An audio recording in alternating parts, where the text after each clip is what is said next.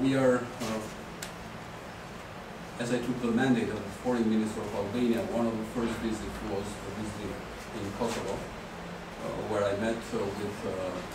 with local authorities and I urged them to uh, go ahead with the process of, uh, of promoting the technical dialogue with Serbia and also in complying with